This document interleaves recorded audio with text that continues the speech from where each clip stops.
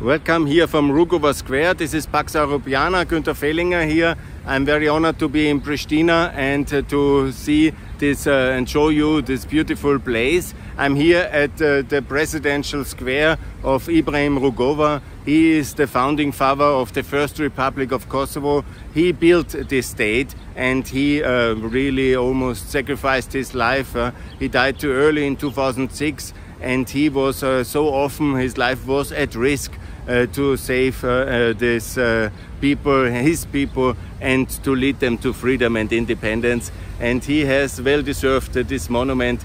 He is in many ways uh, the leader and the um, spiritual leader who made this republic for sure the first one. And let's never forget, yeah, he declared in 91 independence and set up on the 22nd of September 91 just two weeks after Macedonia declared independence, he declared independence of Kosovo Republic.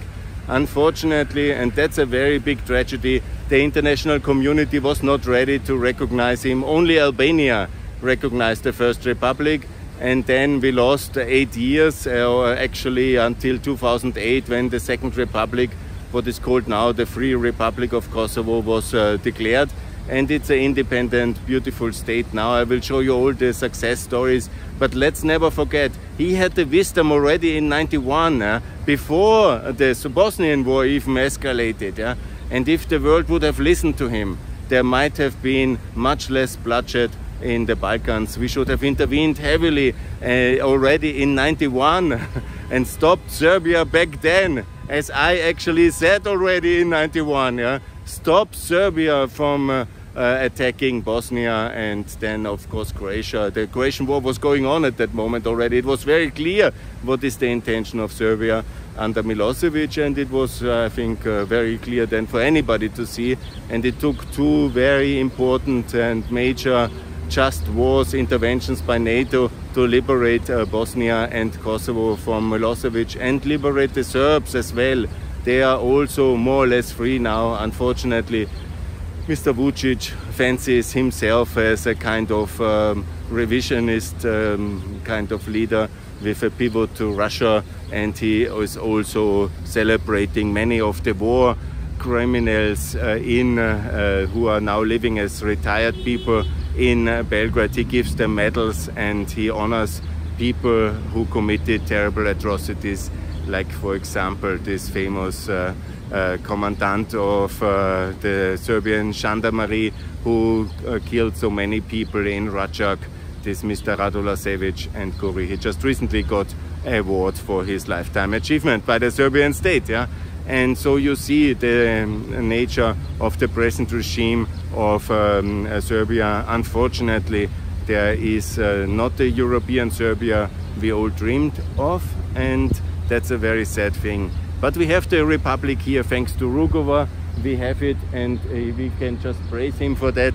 And he has achieved, he didn't see the Independence Day, unfortunately, tragically. He died uh, two years before the Declaration of Independence.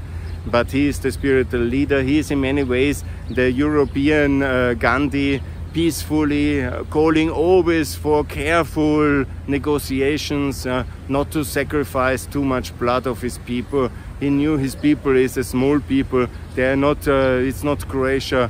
It is a different geography here in the inner Balkans. There was less weapons available. There was less international support. So he was careful and he was peacefully trying to build a consensus and to show the injustice. Yeah? But unfortunately, the West didn't listen. And only when the armed uprising came then in 97, when the weapons of Albania were available for the UÇK, then gradually and there was more attention and uh, the armed uprising then started against the genocidal terror regime. And I will show you so, some of the, the victims. I will go to some of the places uh, where they are buried in order to give you a clear overview. Uh, when you come personally also to Kosovo, which I really recommend, it should be also the president of the EU. He is now in Azerbaijan and Armenia. He visited the Armenian Genocide uh, Museum and Memorial. He visited the Azeri Genocide uh, Memorial, and it's time for Mr. Michel to visit the Kosovo Genocide Memorial as well. I will make a separate video about that one. But here, and this is my first entry um, video here to explain you how it happened, what um, happened when, and also to make clear this is the spiritual uh, leader of the Kosovo freedom. I'm very honored. I met him once, shake the hand in European Parliament in 2004. He's a great European. He has deserved all the honors. He got many of them in his lifetime. But here this monument, and I'm very honored to stand here and to make this video and to celebrate the Republic. And I call for Serbia to recognize uh, the Republic of Kosovo now and to repent all the sins they committed against the Kosovo people, which at that time were still their own people, and the country which kills its own people has not deserved to govern them. So independence and uh, is very just and fair. Freedom is uh, indivisible and I'm very happy that the Republic is now independent, already 13 years. And I call everybody who has the unfortunate uh, no lack of knowledge that uh, they have not recognized Kosovo up to now, like the uninformed Slovaks and Romanians and Cypriots and Ukrainians, Moldovans and Georgians and the Spanish and the Greeks, yeah, to repent their sin of neglectance and lack of knowledge and to recognize the Republic of Kosovo also today in the year 2021 don't wait for the unjust dialogue to have any conclusion. We are not uh, the hostage uh, in Europe of Serbian wills. We will definitely have our own foreign policy. And if you guys in Bratislava and in Bucharest, Nicosia, Athens want to be Europeans and take our subsidies from the north uh, in the many billions, it would be very kindly if you also recognize the Republic of Kosovo. And we appreciate. Thanks a lot for uh, so far. I will do more about uh, separate topics when I walk down the Mother Teresa Street.